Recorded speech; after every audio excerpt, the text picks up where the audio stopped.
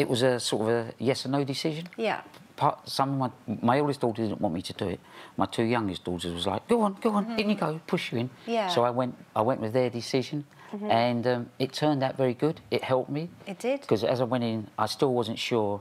There was still quite a bit of Frank in me, and I'd only just sort of a week it had come out in the in the papers. Yeah. And then I sort of um, went in there, and I met some nice people in there like Dee White, um, Lauren, Lauren, Goodger, yeah. um, Claire King, and um, the girl from Bewitching Island, Mm-hmm. um, and they were really helpful. And Ricci from Geordie Shore and um, George from Gogglebox, they were fantastic, and Yeah. it really helped me. And I came out there a very strong person.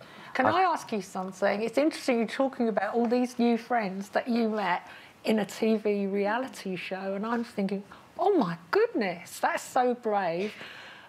What about all the friends you had in the boxing world? I've Have you- are, they, are they still your friends? Because that's a kind of completely different, Different world. kettle of fish, isn't I've it? got, s- I've got, I've kept some, but some really keep their distance from me. I was gonna there's a couple you. that will not speak to me. Um, And were they really good friends of you at the yeah, time? Yeah, they was at the time. I was quite surprised. I mean, one of them, an old friend of mine's come back into my life that I started in boxing years ago, and um, quite surprised because he's a kid from Peckham like me, and I and I thought it'd be hard for him. Yeah. But he was fantastic, and he said, "Oh, I was talking to so and so the other day." He said, and I mentioned I'm, I'm coming out with Kelly, and he just went. I can't have none of that nonsense. There's something wrong with, with, with Frank, well, with whatever they call it, you know. and, and, I've, and, and he said he hasn't spoken to me since. He says, Has that surprised you about people? That people that you think would have been accepting haven't been, and people that you would have thought would find it hard have been more. Uh, just yes and no. reaction, Yeah, yeah. yes and no. I mean, some of the guys that have accepted it, I'm surprised they've accepted it. Yeah. Yeah. Like, I've got a very good friend that also grew up in Peckham with it, and we we went we used to go to Millwall regular. We do a lot of things together. And he, when when he was told, I actually didn't have the courage to tell him. So I sort of picked four friends that I was going to tell, and my daughter picked sort Yeah. of five of my friends that I was I thought it would be hard for me to tell. So she went and told them. Yeah. And my, my good friend Ray, he won't mind me mentioning his name. He um, he sort of said, um, "Oh, it's very odd because he's I've done so much with Frank or Kelly. Yeah. Um, I don't know if I can handle it." And then he phoned me and went, "Look, I can't really handle this." He said, "But we've been friends for so long. If you've got any problems, please feel free to phone me." And we kept talking on the phone, and now he's just accepted me. With and- your transformation, because you've had an amazing transformation, is your personality a lot different? it's a lot and- softer and, and um, Yeah. And do you reckon that's what people find hard because they're like they want to slip back into the, the Frank, but now you're a new person? I mean, how how would you say your personalities are different? What I mean is that how how do you go from one personality to another personality? I think I've always had this personality in me, but I was hiding it because Yeah. I was because of the world I was in. I was frightened to let this personality come out and be shown. So I overcompensated by making remarks, trying to be. Um, And would you dress up before? No, not really, because I was always frightened it would come out. But towards the end, I- started taking counselling, and my counsellor, when I told her, she Mm. said, once you take the lid off the box, at this time she referred to me as Frank, and I, I- she said, you know, you'll never be able to put the lid back on the box.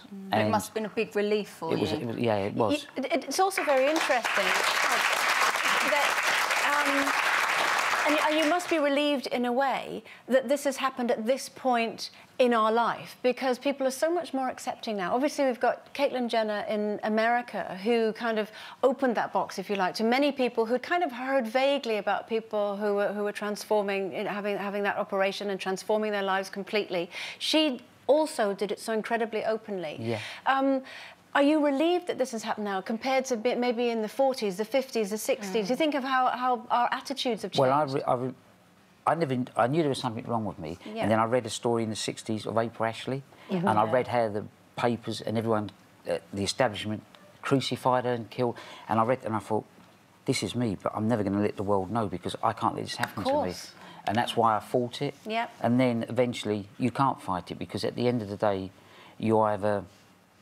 destroy everyone around you, which I was doing. You destroy yourself, and that real person never comes out.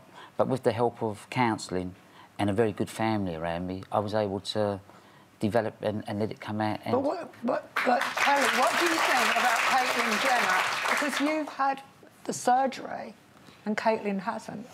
everyone's journey's different. I mean, um, you know, some people that I've met haven't had had the surgery. Um, some have. Some are not going to have the surgery. Mm-hmm. And I, I used to sort of only see the world in black and white as, as Frank Maloney. Mm-hmm. I now actually see it very diversified, and I see it through sort of multicolours. And I realise that no two people are the same in the world. Mm-hmm. There's, it takes everyone to make up the world, and whatever makes that person happy, as long as they're respecting other human beings, they're entitled to live that way. Don't you think that the image that Caitlyn Jenner has is quite as...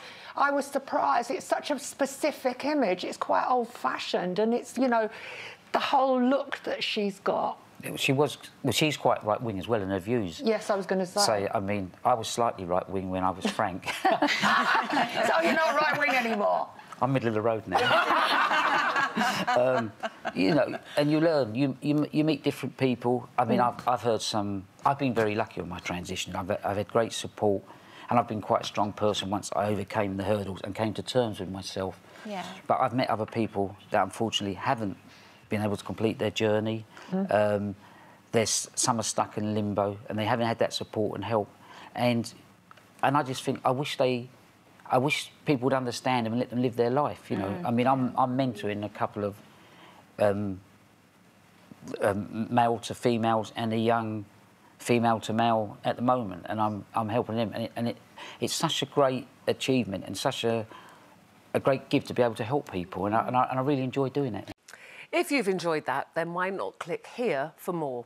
And don't forget to subscribe by clicking here so that you never miss out on the best Loose Women moments. Funny thing is, I was in a vulnerable place, and at the time I thought I had all this confidence and I was taking the world on. Yep. I didn't realise I was a, a shadow of myself.